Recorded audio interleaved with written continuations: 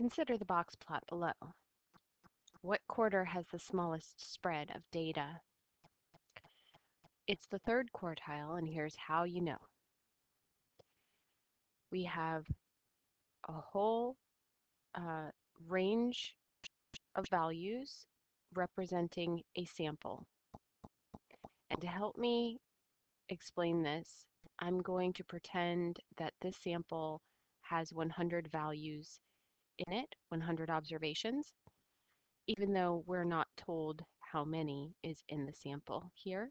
We will just use 100 because it's easy to understand percentages with 100.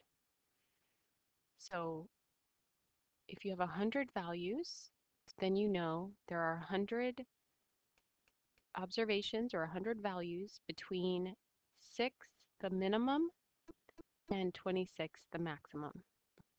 6 being the lowest value in the sample, and 26 being the largest value in the sample, the minimum and the maximum. Then, if you spread out all of those values, those 100 data points, from least to greatest, and split them up into quarters, you would have 25 of the observations would fall between 6 and 10. 25 of them would fall between 10 and 19. 25 of them would fall between 19 and 21. And 25 of them would fall between 21 and 26. Right? So there's if there's 100 values in the sample and there's 25 values in the first quarter, which is divided by the first quartile, the dividing line is the value 10. So there are 25% of the data that would be less than 10. So 25 values if you have a sample of 100. Then we would have another 25 values between 10 and 19 in the second quarter, quarter divided by the quartile, the second quartile, which is also referred to as the 50th percentile because 50% of the data lies below it. Likewise, the first quartile would also be considered the 25th percentile because 25% of the values lie below it. Then we have 21, which is the third quartile, separating the bottom 75% or the bottom three quarters. And there would be 25 values in between 19 and 21. And then our fourth quarter has 25 values between 21 and 26. Now, when we're asked about spread, we want to know the range of each quarter, right? So the spread of the first quarter is 4 because if you subtract 10 minus 6, you get a distance or a difference of 4. So the bottom 25 values lie within 4 units, a spread of 4.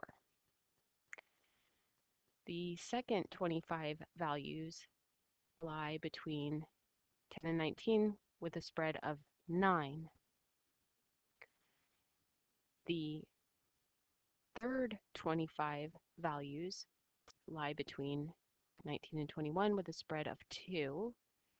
And the fourth quarter has a spread of 5. So there's 25 values with a spread of 5.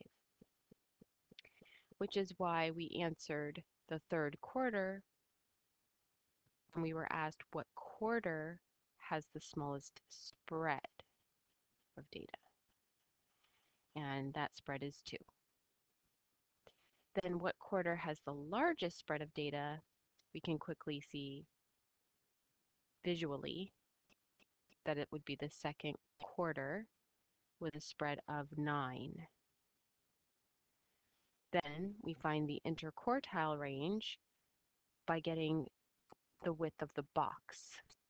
So the interquartile range, which is defined in the book and in the reference packet I've provided, says that you get the interquartile range by subtracting Q3 the third quartile, in this case 21, minus the first quartile, which in this case is 10. So 21 minus 10 gives us an uh, interquartile range of 11.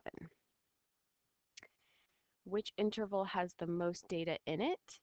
Now notice it does not say which quarter has the most data in it because each quarter has the same number of data points falling within that range.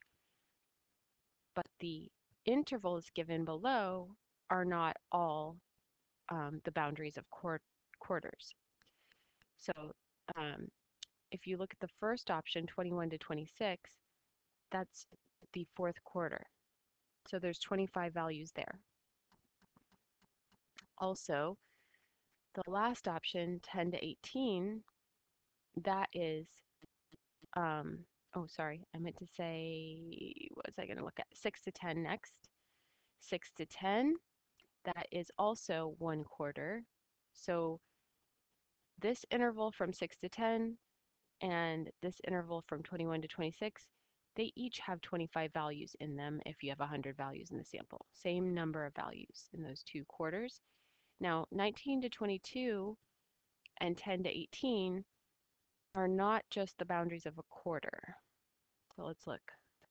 19 to 22 is more than one quarter, right? Because 19 to 21 would represent 25 values, but we're going a little beyond it.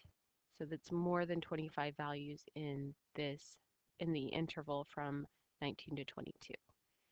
Then um, from 10 to 18, 10 to 19 would be a whole quarter, but it's just falling a little short at stopping at 18 so this one has less data in it than a quarter, right? So um, the answer is 19 to 22 because it's the only one, the only interval given that represents more than one quarter of the data. So again, with my example of 100 values in a sample, that would be more than 25 values. And the other options um, all have less than that. And part G, what value could represent the 52nd percentile? Um, I don't like that TH there, but it should say 52nd ND, but uh, 52nd percentile means it would divide the lower 52% of the data. So that should be close to the 50th percentile. In other words, the median. It should be a little bit above the median because the median is the 50th percentile. So the median is 19. Therefore, the 52nd percentile would have to be larger than 19. But it also can't be 21 or any higher because 21 would represent the 75th percentile or the third quartile. So we know we were we are looking for a value that is larger than 19 but less than 21. So the answer, the best answer here, the only one that lies between 19 and 21 is 20.